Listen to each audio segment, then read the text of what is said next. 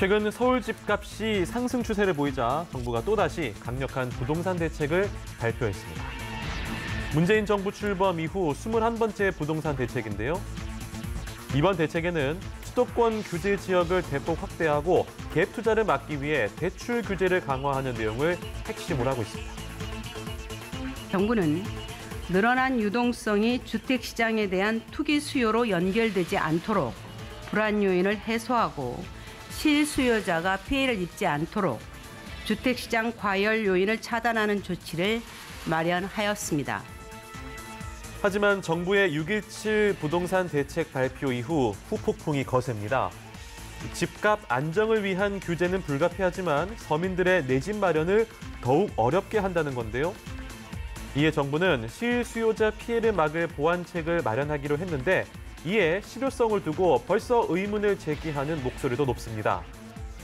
과연 6.17 부동산 대책으로 부동산 시장을 안정시키고 집값을 잡을 수 있을까요? 오늘 아침 뉴스룸에서 이야기 나눠보도록 하겠습니다. 네, 현 정부 들어서 나온 21번째 대책이니까 뭐 1년에 한 7개 꼴로 지금 대책이 나오고 있는데요.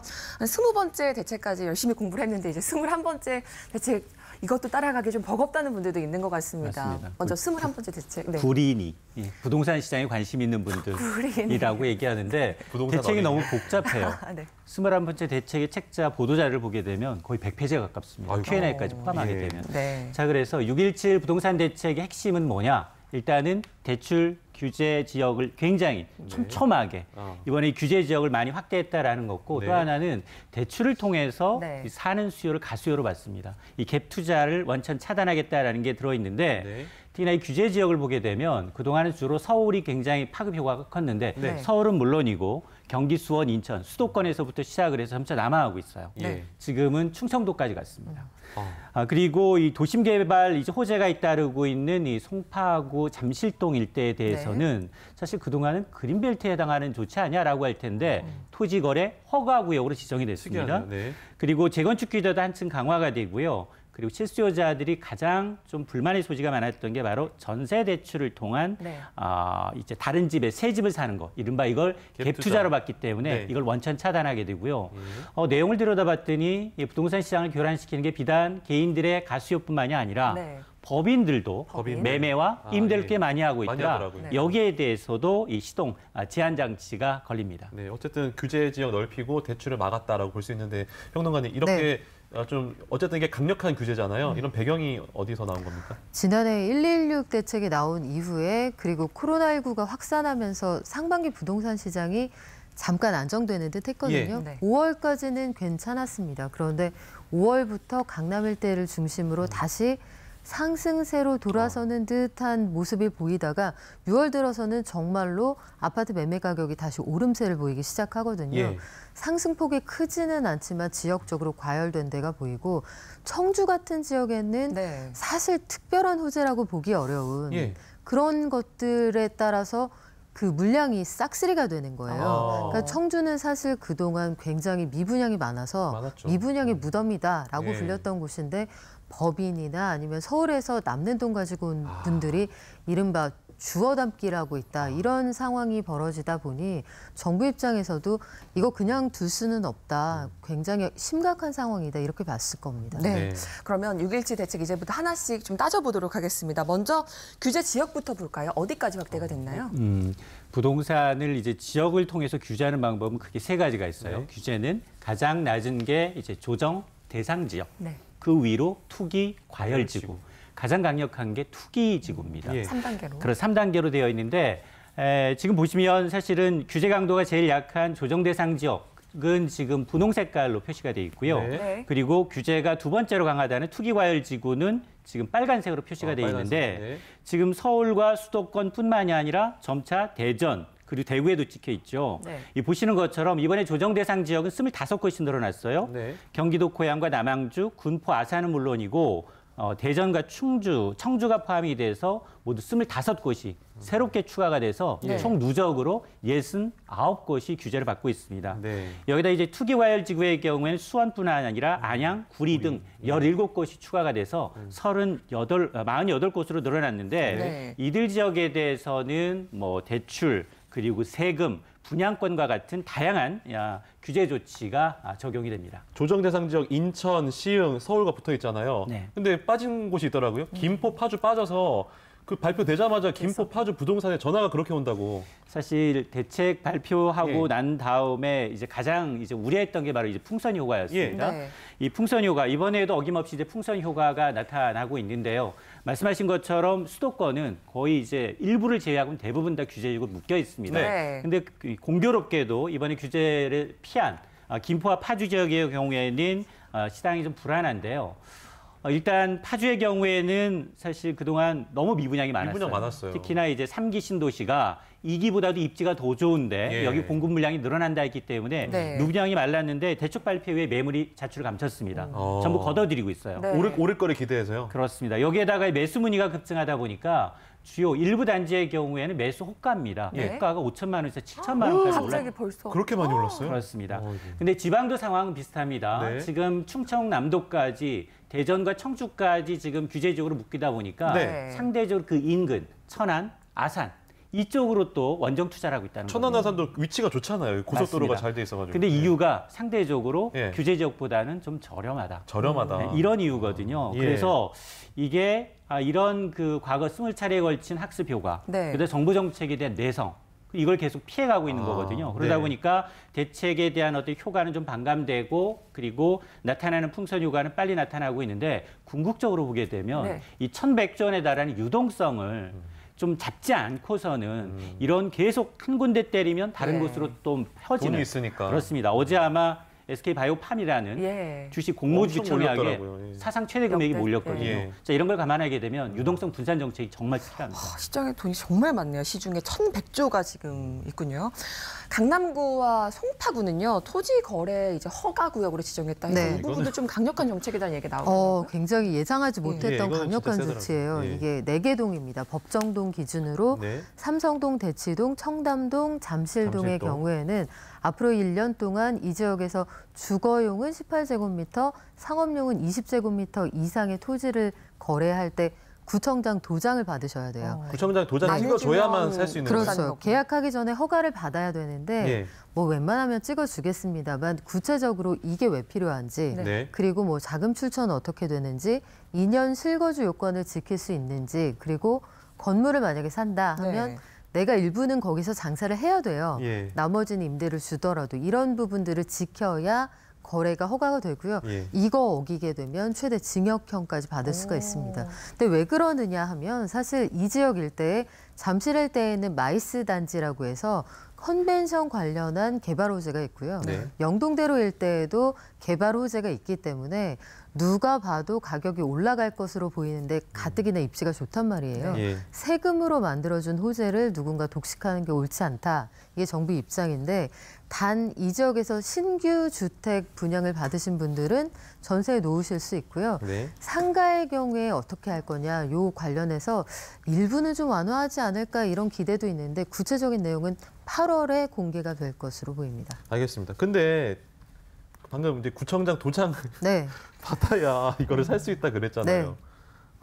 좀 이상한데요. 이게 사유, 이게 내가 내 돈으로 사겠다는데 그렇죠. 어디 누구 허락을 받는다는 것 자체가 이게 좀 어색하잖아요. 매우 어색한데요. 이거? 사실 우리가 인터넷에도 보면 내 돈 내산 후기 이런 얘기 나오잖아요. 예. 내돈 주고 내가, 내가 산 산 후기. 후기니까 예. 내가 당당하게 올리겠다 이런 얘기가 나오는데 사실 땅은 좀 달라요. 땅은 왜냐하면 다릅니까? 땅은 한정된 재화잖아요. 예. 누가 먼저 찜했다고 해서 이게 태초부터 너의 것이냐 네. 토지 공개념이 깔려 있는 조치입니다. 음. 헌법 122조에 보면 보통은 자유로운 시장 경제에 따라서 거래할 수 있게 하되 공공의 복리에 부합할 경우에는 제한적으로 이용을 네. 제한할 수 있다 이렇게 얘기를 하거든요. 네. 말씀하신 부분이 계속 논란거리였는데 네. 헌법재판소 판례를 보면 네. 이게 공공이익에 부합하고 과잉금지 원칙에 어긋나지 않는다 이런 판례가 있어요. 예. 그리고 일년에 하나는 거고 개발 호재에 하나는 것이기 때문에 거래 자체를 막는 것은 아니니 네. 이게 헌법에 위배되진 않는다. 이게 아, 정부 입장입니다. 그렇군요. 재건축 규제도 좀 살펴볼까요? 지금 2년 이상 실거주 요건이 들어가면서 제발 돈 줄 테니까 좀 나가주세요. 이런 이야기도 지금 빗발치고 있다고요. 맞습니다. 재건축 규제와 관련해서 하반기부터는 세 가지가 강화가 됩니다. 네. 일단 재건축 주인이어도 반드시 2년 이상 실거주하지 않으면 현금 청산하겠다. 새 집을 안 주겠다라는 거고요. 주민등록을 거기다가 등록해야 된다는 거죠. 맞습니다. 예. 두 번째가 안전진단을 강화하겠다는 거예요. 네. 그리고 세 번째가 뭐냐면 하반기 이미 예고된 건데 초과이익에 대해서는 이제 환수제를 시행하겠다는 겁니다. 네. 이 가운데에서도 이제 실거주 2년 요건 강화가 굉장히 좀 파급력이 좀 큰데요. 네. 왜냐? 사실 재건축은 집이 좁고 낡았기 때문에 임대 비중이 굉장히 높습니다. 대부분 임대사업자로 등록이 돼 있단 그렇죠. 말이에요. 네. 그러면 정부는 약속대로 4년 내지 8년은 의무적으로 임대하게끔 해놓고 네. 실거주 하게 되면 집주인 입장에서는 새집 받기 위해서는 두 가지밖에 없어요. 어, 어떻게 해야 돼요? 세입자 내보내거나 아, 아니면 임도사업자 등록을 취소해야 됩니다. 아. 세금 혜택을 못 보게 되는 거네요. 그렇죠. 그렇지 예. 않으면 현금 청산돼 버리니까 예. 만약에 임대사업자 등록을 취소하게 되면 굉장히 파급효과가 큽니다. 예. 과태료도 물어야 되고 그렇죠. 지금까지 예. 받았던 공제까지 전부 다 아. 되돌려놔야 합니다. 예. 때문에 이 부분에 대해서는 이 재건축과 관련 한 이슈, 특히나 이제 실거주 이슈와 관련해서는 정부가 보완 대책을 마련하겠다라고 밝히고 있습니다. 그 강남에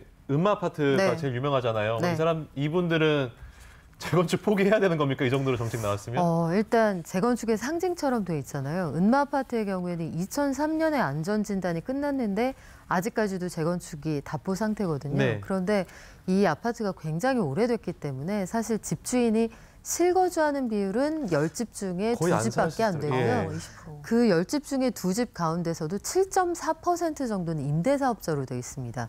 만약에 집주인이 이 집을 사놓고 한 번도 들어가서 안 살았는데 이 4년, 8년 임대사업자로 묶여 있으면 예.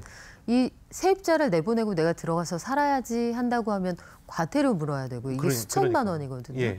그렇기도 하고 사실 여기까지는 돈 많은 현금 부자까지는 걱정하지 않는다고 쳐도 네. 차치하고라도 세입자들이 문제가 되는 거예요. 음. 아파트가 실거래 가격이 20억 원 안팎에서 조성이 돼 있는데 전세 가격은 싸요. 5억 원대 초반입니다. 네. 그래서 학군 수요를 충족시키면서 약간의 불편함을 감수하려는 세입자들이 선택할 수 있는 굉장히 합리적인 선택지였는데 네. 이분들이 만약에 나는 분양권 받아야 되니까 나가주세요 하면 나가야 되는 거네요. 어딘가로 가야 하지만 전세 물량은 줄어드는 거예요. 요즘 시장에. 전세값도 비싸니까. 그렇죠. 예. 전세 물량이 가뜩이나 저금리 때문에 네. 전세를 반전세나 월세로 돌립시다 하는 아. 집주인이 늘어나는데 네. 실거주 요건이 강화가 되니까 네. 살고 싶은데 전세가 줄어들면 세입자가 유탄을 맞을 때 이런 걱정이 있는 거고요. 예. 그래서 이번 대책에서 2년 이상 거주한 조합원에게만 재건축 그 분양권을 줄 수 있다. 요 부분에 대한 논란이 좀 있고 네. 어쨌든 올해 말까지 조합 설립이 끝나지 않으면 네. 서울에만 88개 단지 한 8만 가구 정도는 좀 어려워질 수 있다. 아. 이거 굉장히 분쟁의 소지가 있다. 이런 얘기가 나옵니다. 네. 그렇군요. 갭 투자 관련해서는요. 지금 정부가 어쨌든 집값 상승의 주 원인을 갭 투자라고 보고 있는 게 확실한 것 같습니다. 지금 네. 3억 원 초과 아파트에 대해서 좀 강화가 되는 부분이 있어요. 네, 투기 지역이나 투기 과열 지구에서 내가 이미 전세 대출을 받아서 살고 있는데 그 상태에서 3억 원을 초과하는 아파트를 샀다 하면 기존의 전세 대출을 회수한다는 거예요. 근데 이게 현실적이지 않다는 지적이 있는 거죠. 왜냐하면 서민들이 뭐 증여를 받거나 엄마 찬스, 아빠 찬스 쓰거나 네. 굉장히 고액 연봉자가 아니면 이 현금으로 집을 다 살 수 있다 이거 쉽지 않잖아요. 그럼요. 거의 불가능하죠. 현실적으로 좀 어려운 얘기인데 네. 3억 원이라는 기준이 수도권에서 3억 원 미만의 집은 찾아보기 어렵단 말이에요. 아파트의 경우는요. 네. 기존의 경우에 대출을 받기도 이 투기 지역이나 투기 과열 지구의 경우에는 40%밖에 대출이 안 나오거나 네. 이뭐 9억 원 이상이 되면 규제가 더 강화되는데 이게 일가구를 마련하고자 하는 실수요자들의 어떤 희망을 꺾어버린다 이런 불만이 있는 건데요. 다만 그 기존의 세입자가 있는 경우에는 임대 기간이 남아 있는 동안 일부 유예를 하게 되고요. 그 빌라나 단독주택 형태에 있는 집을 산다 이 경우에는 그 예외 조항으로 빼주기로 했는데 요거는 당분간 좀 논란이 될 것 같습니다. 소장님, 네.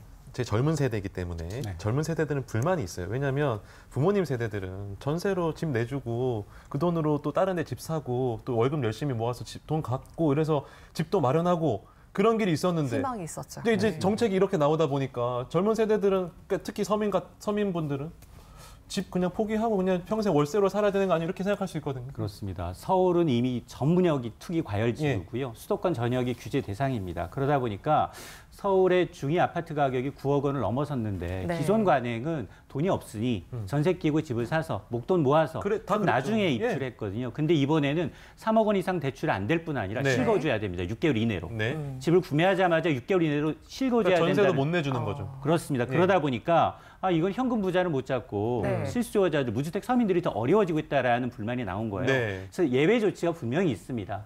여기에도 이제 6.17 대책 이전에 이미 분양 계약이 끝났어요. 네. 대출 신청 끝났습니다. 네. 그러면 상관없습니다. 아, 그또 하나 네. 그래요? 직장 문제, 자녀 교육 문제, 그리고 네. 부모를 봉양한다는 문제, 실수요가 있다면 네. 전세 여기도 살고 여기 두 군데다 살 수 있어요. 아, 그래요? 조금 까다롭긴 하지만 어, 좀 이거. 애매한 근데. 대출을 받아서 새 집 사는 게 아닙니다. 투기 아닙니다를 입증해야 되는 입증을 해야. 되는 거예요. 네. 이번 대책에서 또 눈에 띄는 부분이 법인이 들어갔다는 네. 부분인데 어떤 내용들이 바뀌게 되는 거죠? 올해 1, 2, 3, 4월에 법인이 얼마나 부동산을 사들였냐, 그 구체적으로 아파트를 사들였냐 보니까 전년 동기하고 비교해서 440%가 늘어난 거예요. 그러니까 법인이 청주 같은 지역에서는 한 달 사이에 아파트 가격이 4억 원 하던 게 6억 원 됐다 이런 곳들이 많았거든요. 네. 법인이 쓸어 담았다 이런 얘기가 나올 정도인데 인천, 수원 특히 가격이 많이 올라간 지역들은 법인의 투기가 지나치다 정부가 그렇게 보기 때문에 종부세도 무겁게 물리기로 했고요. 기존에 공제하던 혜택 다 주지 않기로 했습니다. 7월 1일부터는 법인에는 주택담보대출도 안 됩니다.